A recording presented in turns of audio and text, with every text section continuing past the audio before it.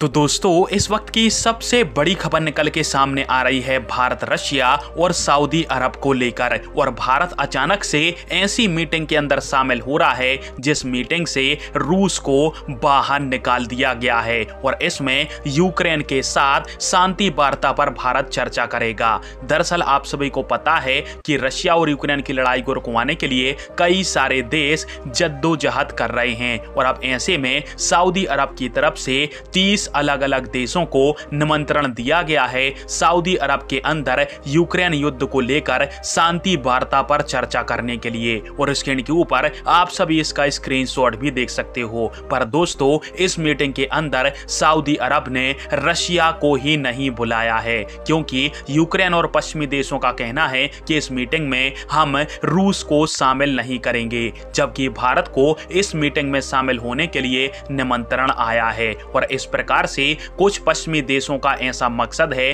कि रूस और भारत के बीच में जो दोस्ती की बॉन्डिंग बनी हुई है, उसको तोड़कर भारत का रुख यूक्रेन युद्ध की तरफ़ मुड़ा जाए, ताकि भारत यूक्रेन के समर्थन में उतरे और शांति वार्ता में पश्चिमी देशों के साथ मिलकर भारत रशिया की आलोचना करे। हालाँकि पश्चिमी देश इस वार्ता के माध्यम से रूस और यूक्रेन की लड़ाई का मुद्दा सुलझाना चाहते हैं, परंतु ऐसा मुद्दा कैसे सुलझेगा जब दोनों पक्ष परस्पर एक टेबल पर ही नहीं बैठेंगे, क्योंकि यूक्रेन तो इस मीटिंग में है, पर रशिया को पश्चिमी देशों ने इसमें बुलाया ही नहीं है। और इस मीटिंग के माध्यम से पश्चिमी देशों का मकसद है कि भारत समेत अन्य तीस देश मिलकर यूक्रेन का शांति वार्ता का समर्थन करेंगे तो रशिया के ऊपर प्रेशर बनेगा और रूस इस लड़ाई को शांत कर देगा। पर आप सभी को क्या लगता है, और क्या भारत को रूस के खिलाफ इस मीटिंग में यूक्रेन का समर्थन करना चाहिए या फिर नहीं? कमेंट बॉक्स चीज़ का अपडेट देखने के लिए धन्यवाद। जय हिंद वंदे मातरम।